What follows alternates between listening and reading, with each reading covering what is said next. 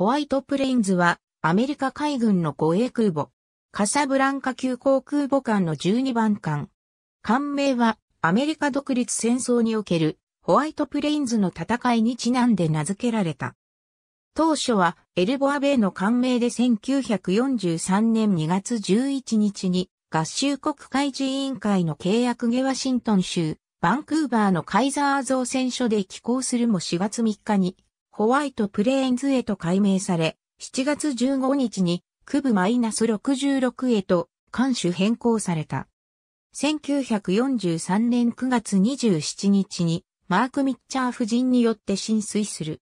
1943年11月15日に、オレゴン州アストリアで海軍に引き渡され、同日オスカー・エー・ウェラー艦長の指揮下収益した。ホワイトプレインズは1943年12月4日にアストリアで偽装が完了すると12月8日に成長訓練を開始した。成長巡航が終了すると12月21日にサンディエゴに帰還する。12月30日に出港、真珠湾経由でギルバート諸島に向かう。1944年1月11日にタラワに到着し、積み荷の航空機を陸揚げする。1月17日、オアフ島に向かい、6日後に真珠湾に到着する。4日後に再びマーシャル諸島に向けての航空機運搬任務に再び出港し、2月3日にタラワに到着、マジロは日本軍の抵抗もなく、クエゼリン干渉の部隊もほとんど抵抗しなかった。翌日マジュロ干渉に向かい2月5日に到着、ホワイトプレインズはクエゼリンに移動し短期の停泊後ハイに向かう。オアフ島に短期間停泊した後、2月23日に西海岸へ向かい、3月3日にカリフォルニア州アラメダに到着した。西海岸でホワイトプレインズは次艦の搭乗部隊員への訓練及び3つの航空団に対する空母認証訓練を行い、4月になると次艦の搭乗部隊第4混成航空団を上艦させる。部隊は16機の F4 回、ワイルドキャットと12機の TBM アベンジャーから構成された。4月24日にサンディエゴを出港し、5月1日に真珠湾に到着、翌月まで真珠湾沖で航空訓練及び上陸支援訓練を行った。5月末、ホワイトプレーンズを含んだ任務軍はマリアナ諸島に向けて出撃。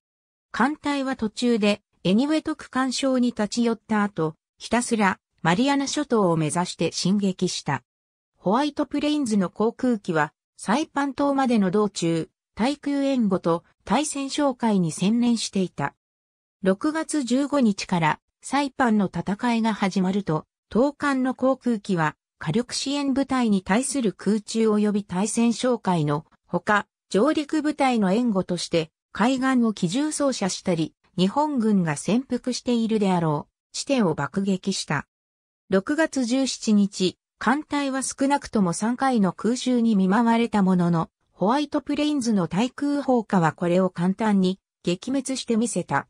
その後、第4混成航空団の TBM アベンジャーは、ロッタ島を空襲して輸送船などを破壊した。7月2日、ホワイトプレインズは一旦戦闘地域を後にして、エニウェト区干渉に下がり、航空機を補充した後再び、マリアナ海域に戻ってきた。マリアナでの二度目の作戦では、テニアンの戦いの支援を行った。戦いを通じて、ホワイトプレインズは一度たりとも攻撃を受けず、終始テニアン島への上陸部隊に対する援護に従事した。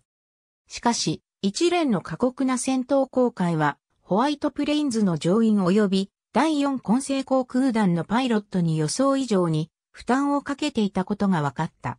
8月に入り、ホワイトプレインズはマリアナでの戦闘から外れてエスピリトサント島に向かった。休養の後、8月16日にセゴン水道を出港してクルパラオへの上陸作戦に備えた準備を開始した。ソロモン諸島の海域や当初を使った水陸両用作戦の訓練を繰り返した後、9月に入って他の空母と合流して9月の第2週目までにパラオ近海に向かった。9月15日から始まったペリリューの戦い及び9月17日から始まったアンガウルの戦いに関連してホワイトプレインズと他の空母の航空機は事前攻撃と上陸部隊の支援を行った。マリアナでの戦闘とは逆に上陸作戦は難重したものの日本軍は艦隊や航空機を呼んでこなかった。日本軍はすでにフィリピン防衛のために航空機を温存していたので、日本軍の空襲は一度もなかった。また、島の日本軍は新しい戦術で対抗していたため、海岸ではわずかな沿岸砲台ぐらいしか見つけることができなかった。9月21日、ホワイトプレインズはパラオ攻撃部隊から外れ、すでに放置されていたウルシー干渉確保のための作戦に参加した。アドミラルティ諸島マニュス島の海軍基地での修理の後、1944年10月、レーテ島に向かった。10月20日、レーテ島への上陸が行われ、ホワイトプレインズは航空機による作戦全般支援を行った。レーテ沖海戦に続く戦いの始まりである。この戦いにおいて、日本海軍は戦略的に重要なフィリピン防衛のため3方面から反撃を試みた。おとり部隊は小沢治三郎中将の指揮したウィリアム・ハルゼー大将の第3艦隊と大型空母を引きつけるべく南方へと向かっていた。西村昌司中将率いる艦隊、及び島清秀中将率いる艦隊は、ス川海峡を突破することを試みた。そして、中央の栗田武雄中将の艦隊は、無防備のサンベルナルジの海峡に突入しようとした。ちょうど急戦艦大和と武蔵を含む最強部隊である栗田艦隊は11隻の重巡洋艦、2隻の軽巡洋艦、及び19隻の駆逐艦からなっていた。しかし高尾、愛宕、マヤの3隻の重巡洋艦が10月23日創業のパラワン水道でアメリカ潜水艦ダーター及びデイスの魚雷攻撃によって撃沈及び撃破され、さらに10月24日の渋谷海での空襲で戦艦武蔵が失われ、従巡洋艦妙高が大破してブルネー湾に下がっていった。栗田艦隊が10月25日にサンベルナルジの海峡を通過する時までには4隻の従巡洋艦と戦艦武蔵が失われ戦力は減衰していた。レーテ湾にいた旧式戦艦からなるジェシー・ビー・オルデンドルフ少将の第77.2任務軍は、スリガオ海峡において、10月24日夜半から10月25日未明にかけて定時戦法によって西村艦隊を壊滅させた。また、島艦隊は、刺したる戦闘もせず引き返していった。渋谷暗海での空襲で、栗田艦隊を西方へ追い払ったと判断した春勢大将は、艦隊の全力を挙げて、小沢艦隊撃滅に邁進した。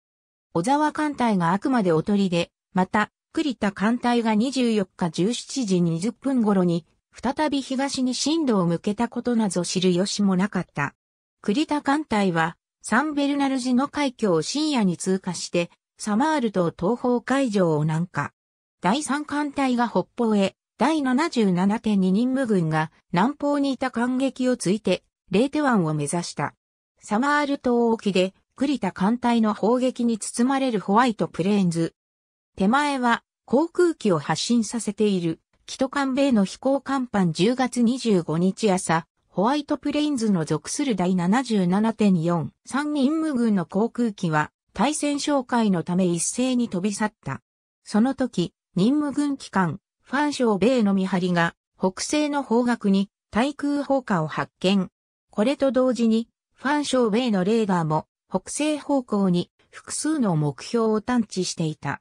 栗田艦隊が今まさに第77.4三任務軍の目の前に出現しつつあったのである。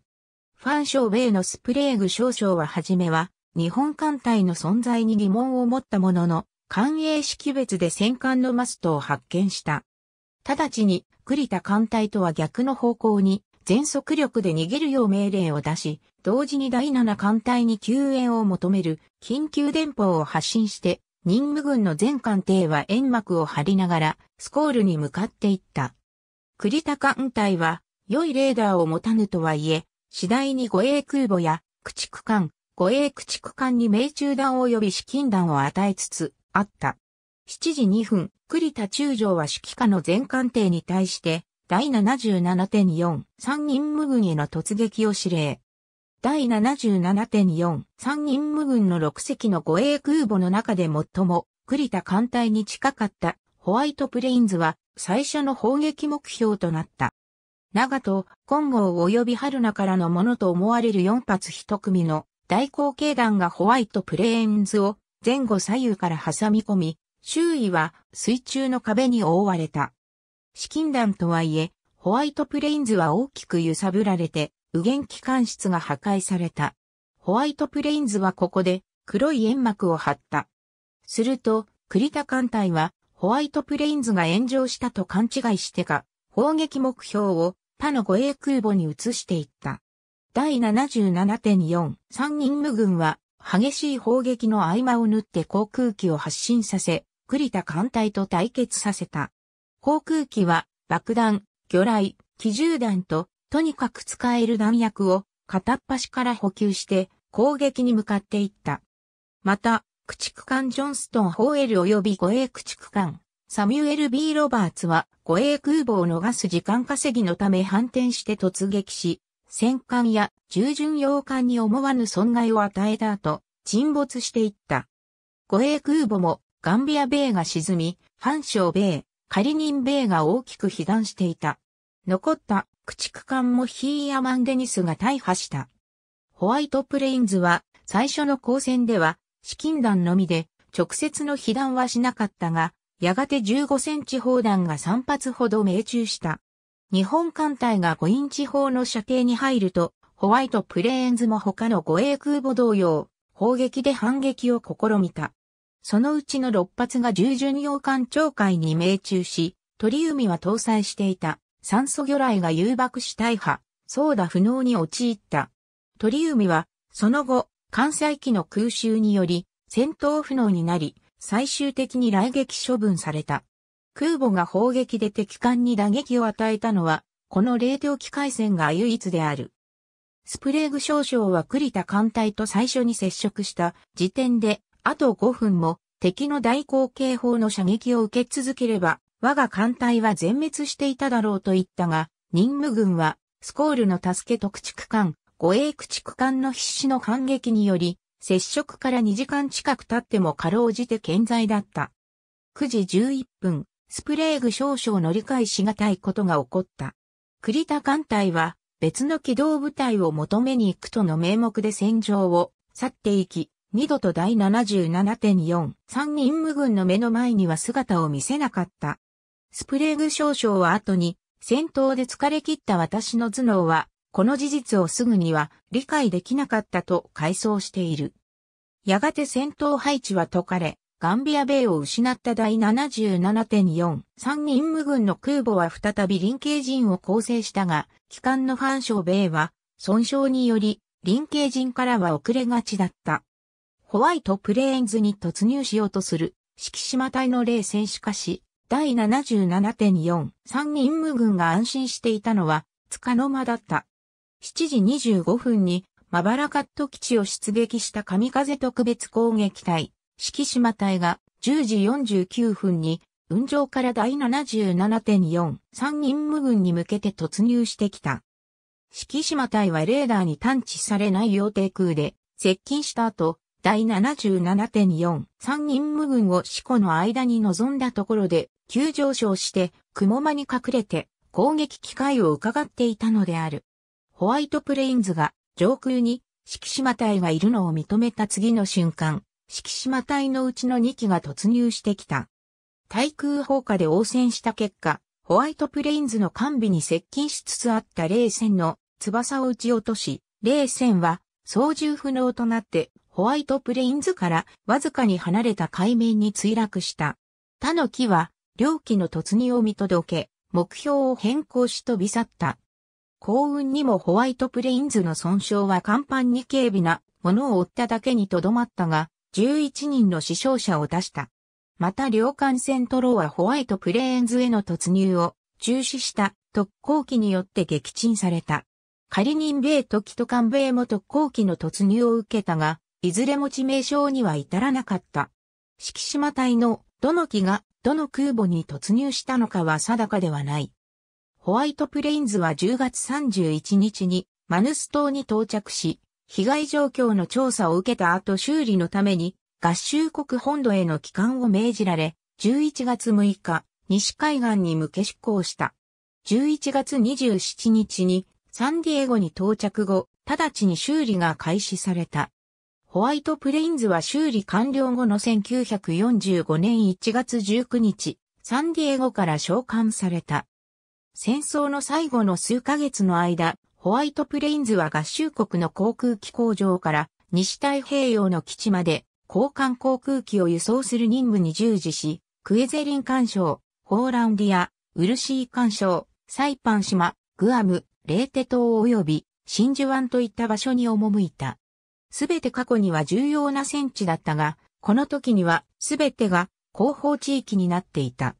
1945年4月には上陸作戦開始直後の沖縄島に海4、ユーコルセや戦闘機を輸送した。8月15日の戦争終結のニュースをホワイトプレインズは真珠湾から西海岸への道中で聞いた。8月22日、ホワイトプレインズはサンペドロに到着したが、すぐにサンディエゴに移動した。ホワイトプレインズは福音兵機関のマジックカーペット作戦に従事して9月6日にサンディエゴを出港。20日後、ホワイトプレインズは中条湾に到着しておよそ800名の福音兵を乗せ、9月28日にサンディエゴに向けて出港した。ホワイトプレインズは真珠湾に寄港後、10月16日にサンディエゴに到着した。9日後、ホワイトプレインズは真珠湾に向かい、1日だけ寄港した後、サンフランシスコに移動。サンフランシスコには11月7日から12日まで停泊した。続いて、グアムへ向かい、11月27日に到着。ここでも、福音兵を乗せ11月30日に出港し、12月14日にシアトルに到着した。その後、1946年1月30日までシアトルに泊まった後は東海岸に向かいパナマ運河とノーフォークを経由して2月17日にボストンに到着した。ホワイトプレインズは1946年7月10日に退役し大西洋予備役艦隊入りする。12年間予備役艦隊で保管された後、1955年6月12日に K-66 に艦種変更され、その後1958年7月1日に除籍された。ホワイトプレインズは7月29日にスクラップとしてシカゴのハイマンマイケル株式会社に売却され、1960年に大阪で解体された。ホワイトプレインズは第二次世界大戦の先行で5つの従軍聖賞とサマール沖海戦の先行で主君部大賞を受賞した。ありがとうございます。